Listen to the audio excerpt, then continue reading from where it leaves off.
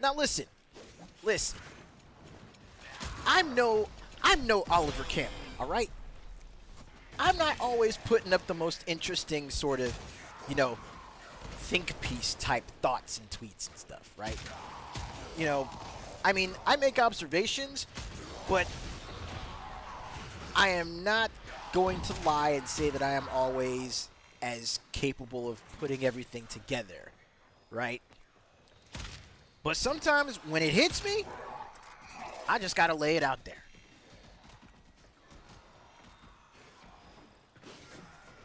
And boy, did I have some words.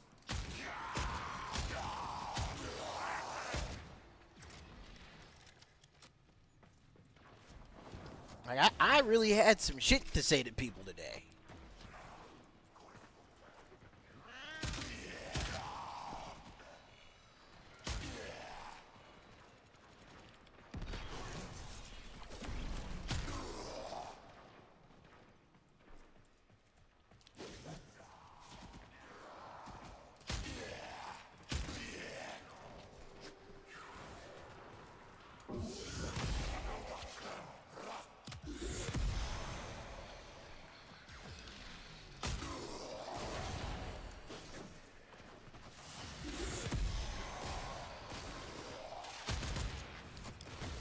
Talk, it is a, it is exactly it is exactly as I told people.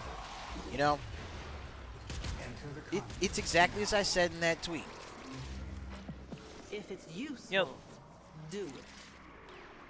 If you take the time to sift through the trolling, you know, if you take the time to sift through the trolling, you will find that there is indeed conversations that need to be had about a lot of this shit. You know, the people that voice the people that have been voicing their complaints in regards to a lot of the shit that's been going on in, you know, nerd culture spaces like comics, like gaming, like tabletop. The complaints are there because the people actually give a damn, right?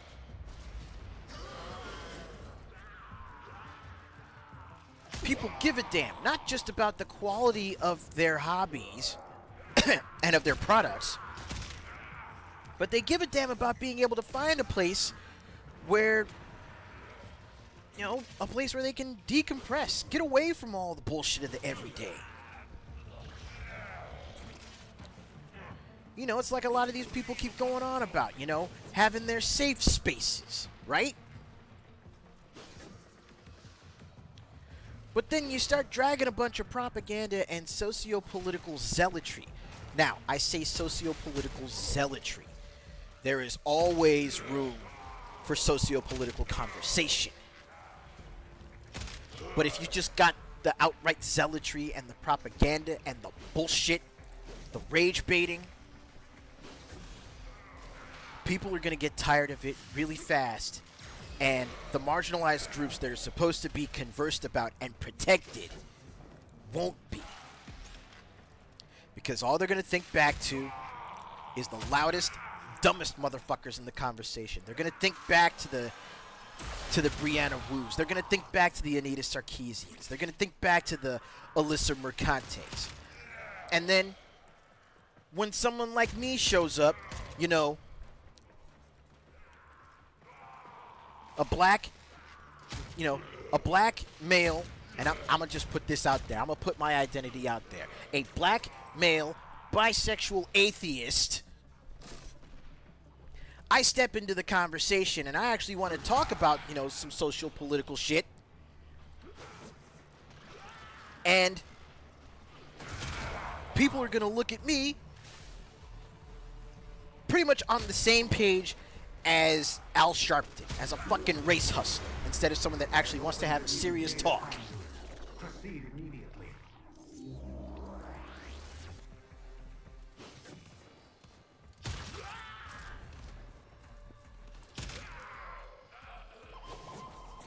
But everything that I just mentioned about my identity,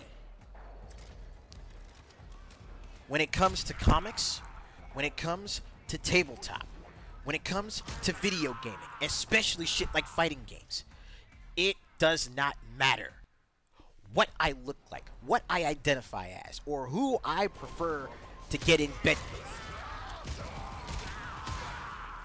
All that knowledge, all that matters is my knowledge and my skills. It's merit. It's merit, and it's the content of my character and the content of my actions that matter in any given conversation and that define who I am. And I make it a point to redefine myself and reestablish that definition as one of the most straightforward motherfuckers you will ever meet on any platform. And I do so simply by my actions. Because that's all that matters. That's all that should matter.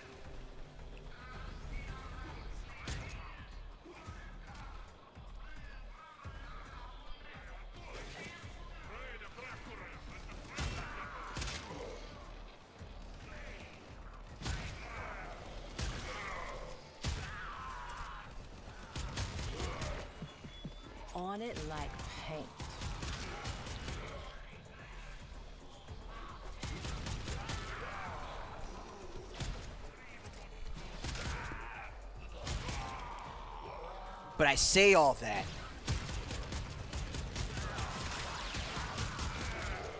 I say all that really to say this. To repeat my tweet to repeat my tweet thread from earlier. You know, to Oh wait, hold on. I am a monster! Sorry, I had to.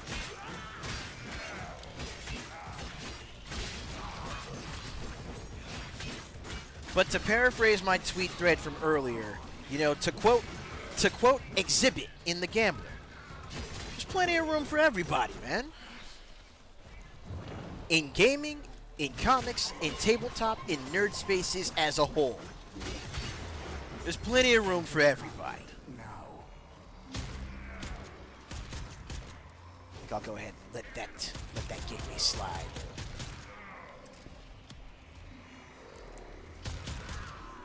Hunter, you are running out of time. Enter the data conduit. Like, there's plenty of room for everybody.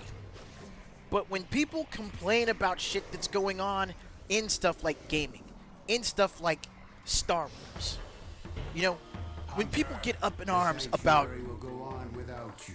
how much of a joke gaming the games media is or how racist the games media and fucking western AAA game development is.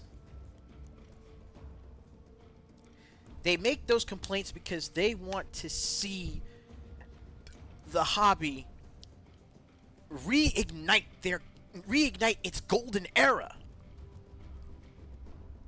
All right, from the you know, going through the 90s, 90s to like 90s to the early aughts to the 2010s. I'd say up until 2014, 2015. That was basically gaming's golden era. We had banger on top of banger. We had systems that we had systems that came in, left a mark, and were beloved. And all of that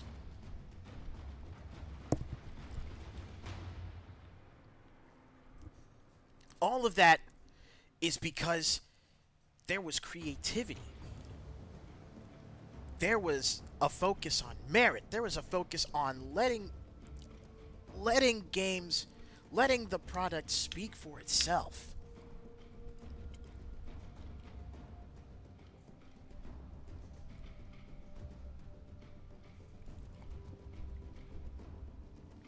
And those of us that were, you know, those of us that have been here through it, when we say, hey, that's not a. It's like, hey, y'all might want to step away from that. Or, you know, maybe instead of. Maybe instead of browbeating people with your chosen political topic, why not try and weave it but why not try and weave it into the narrative of your game. And I don't mean like what they're trying to do with fucking Dustborn. No. Pressure creates diamonds. Again, yes, but it also creates Don't rubber. browbeat people with the message that you want to spread. Right?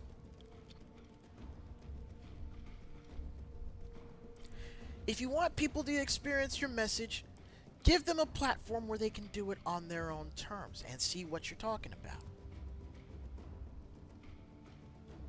Or, going back to games media, you know, don't don't look at something like Dragon's Crown and just say, "Oh, those character designs were." It's like these these are like character designs that were made by a horny teenage boy. Right? You you do that kind of shit. You tear other people down when trying to make yourself look better, and all it does is get people to look at you and go, "You know what? You're full of shit." Exactly. Don't go full Adam Sessler. Don't go full Geoff Keighley. Don't go full Jason Schreier.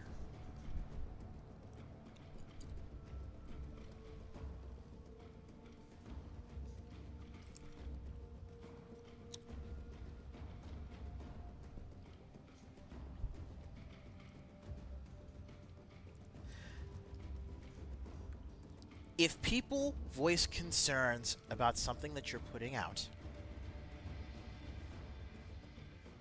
again, wait, you know, sift through the trolling. Take the time to actually sift through the trolling, and you are going to find that there is some conversation that can be had. Have that conversation.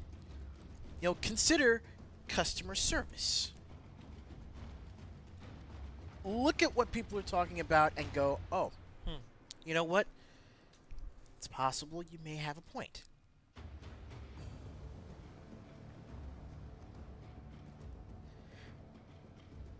Because if there are two things, if there are two things that people do not like having fucked with, it's their money and their time. And if you are in the gaming industry, you are competing for both.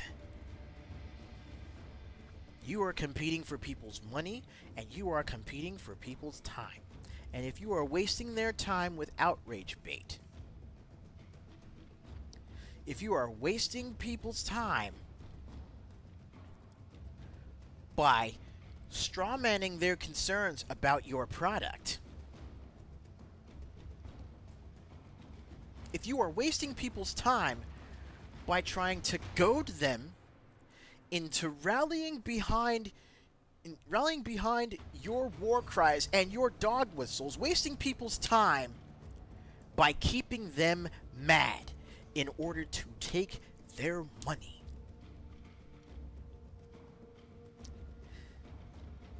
Then to quote from my earlier tweet earlier, which was a which was me pulling a quote from the end of Doctor Strange. Eventually, the bill will come due. And it always comes due. Do not be shocked when the bill comes due. Textbook example Concord.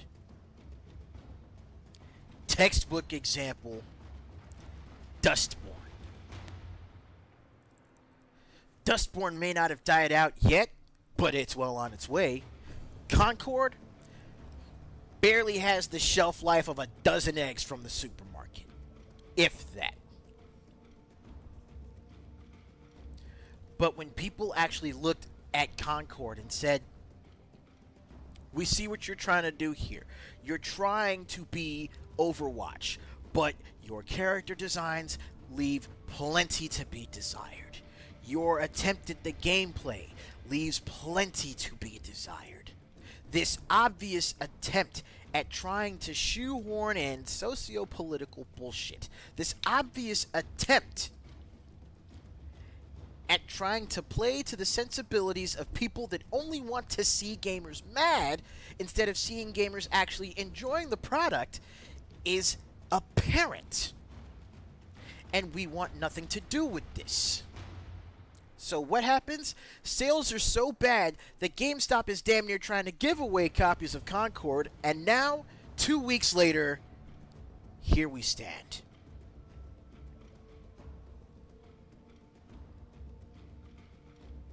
The bill will always come due. And on the flip side of that coin, Andre, thank you for those examples. I'm going to use those. On the flip side of that coin, we have Astrobot. Say what you will about Sony, but the developers behind Astrobot, they saw a mascot. They saw something fun. They saw, you know, a collectathon platformer, the kind of game that people have been missing. And said, you know what? Let's put our mascot out. Check out Astrobot. Look at all the cute shit Astrobot can do. And people jumped on it. Let's take a look at Croc, Legend of the Gobbos, and Argonaut Software. Let's take a look at fucking Tomba getting a revival. Tomba! Let's look at Bomb Rush Cyberpunk. Let's look at Dave the Diver. Let's look at Cookie Cutter. All of these games from developers and studios that are coming out and saying, we want to make fun shit for people to play. We want people to love our games. So we are going to make games that we honestly, you know, we're going to make games that we look back and saw that people loved. We're going to revitalize games that we look back and saw people loved.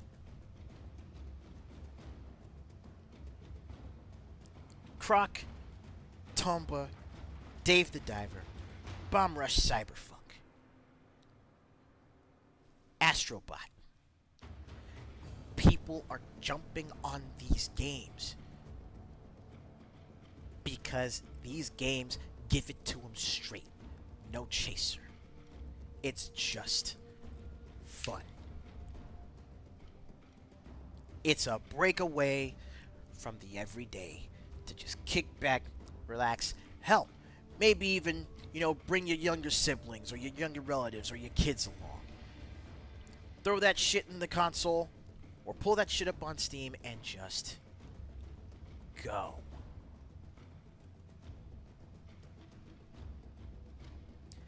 Give people that chance to step away so that they can engage with you when they come back. That's why people go on gaming binges. That's why I take time to sometimes just, you know, not really be on social media, not even, you know, not stream. Just go out, run errands, come back home, play a couple of games, mind my own fucking business. And the types of games that I play are games that allow me to do just that, like Warframe like the first Descendant, Monster Hunter, KOF, Street Fighter.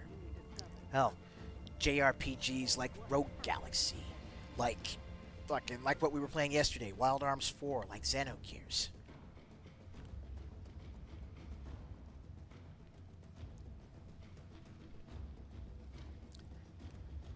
That right there is, at least from what I can see, it's the crux of argument. It is the focal point from which everything else, both good and bad, in regards to the discussion surrounding gaming as an industry and as a hobby, and the gatekeeping that was evidently necessary. That is the that is the focal point from which it all stems.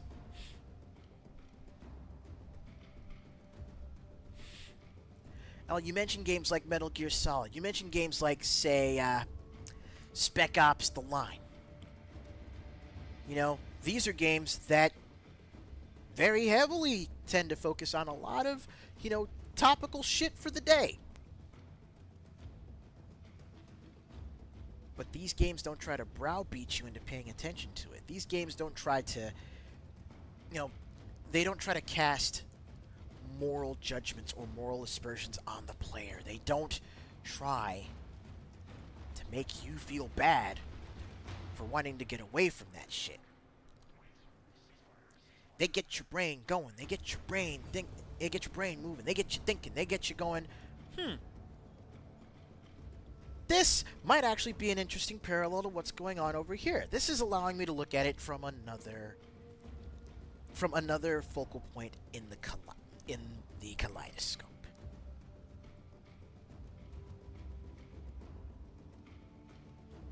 Example. Exactly. Example. but okay. So Vamp likes what he likes. But like you said, he is still a slick son of a bitch that runs on water.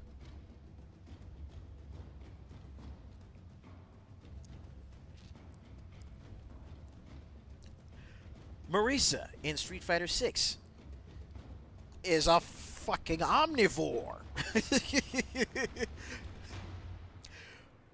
but it doesn't matter because when she steps in the ring and starts swinging them tree trunks she calls arms, she will light your shit up. And that's all that matters. She is a gladiator. She is written as such. She is portrayed as such.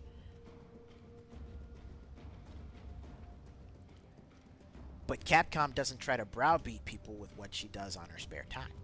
Or who she does on her spare time. You get what I'm saying?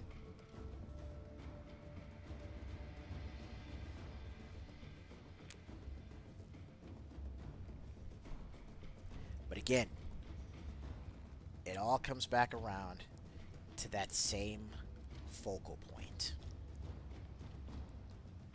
You try and drag unnecessary bullshit into the hobby just to get people pissed off and make money off of wasting their time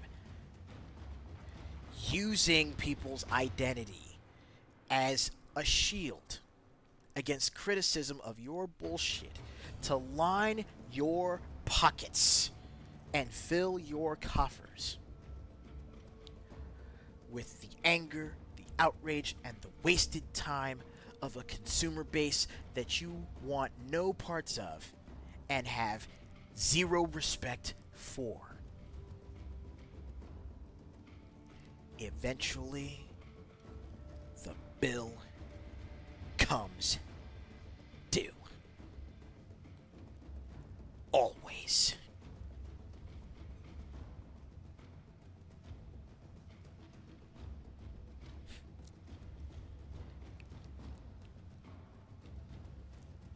And to those of us out there that might be watching this, the hobbyists, the enthusiasts, the gamers, the comic nerds, the you know, the the DMs and the tabletop gamers, listen to me. Listen to me, please.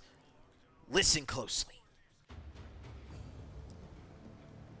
I'm not going to be the type to tell you don't complain about what don't complain about what's bothering you about your hobbies. About the shit that's being brought into them. I'm not going to be like certain people just saying, shut up and don't complain about what you hate. No, make your voices heard. But be, please, please, please, please, be mindful. All right? Let, let me let me use this term. Let me use this turn of phrase in the way that it's meant to be used. Always watch your six. Keep your neck on a swivel. Stay woke. Don't fall for the okey doke that these corporations are trying to play on you. Don't fall for the okey doke. Don't fall for the rage bait that these hustlers, like all these fuckers in the professional, you know, the mainstream gaming media, are trying to play on.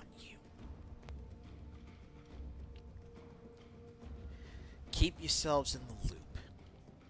Stay informed. Make educated decisions, not just with your time and your energy, but with your money as well.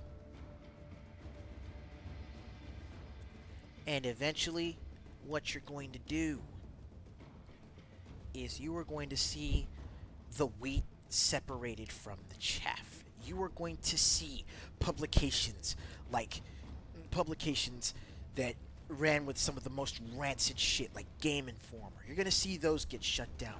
You're going to see websites like Reset Era and Kotaku turned into laughing stocks before getting shut down. You are going to see games that tried to rage bait you. Games that tried to waste your time and your money, even after you made all of those complaints saying this game could be better. Games like Concord. You're going to see those eventually fall by the wayside. And you're going to see the cream rise to the top. You're going to see more stuff that people loved, like Tomba, come back. You're going to see games like Cookie Cutter get, you know, further enhancements and, you know, revi- you know, get revitalized. You're going to see games like Final Fantasy 16 get that extra support, the extra DLC to make it a more com- a more sumptuous and complete experience. Because what speaks just as loudly as one's concerns and one's complaints about a game, what speaks just as loudly is a person's hype about a game and where you spend your money. Which is why people always say two things. One, don't give money to people that hate you, and two, vote with your wallet.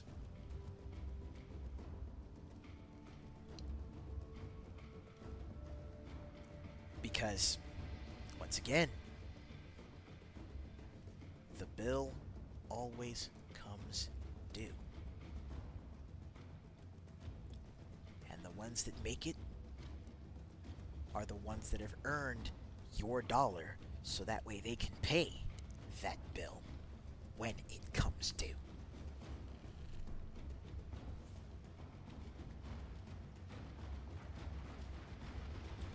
Bingo. SNK listens to their fans. Magnum Studio, the developers of the first Descendant, they listen to their fans.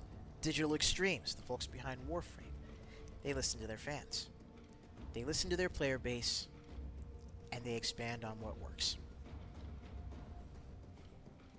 Simple Keynesian economics.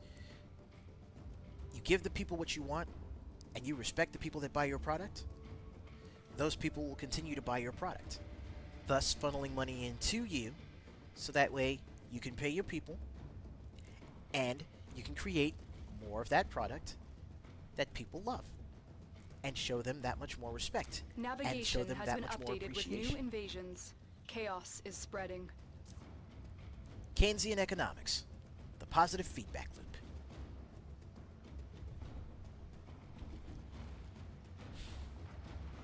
Damn, that was a lecture, wasn't it? I am so sorry. I, I damn near used up this last half hour just going off. But look, uh, let's try and take a couple more minutes. Let's get in a couple more missions with, uh, oh, uh, Admiral Tarrington here. And then uh, we'll take that midstream intermission, pop over to the first Descendant, and uh, I will show y'all Ultimate Viessa, the Ice Queen Reborn. Let's have ourselves some fun, y'all. I am done. I'm I'm through. If y'all if y'all want to hear what I had to say about this again, then go back and just clip that last half hour.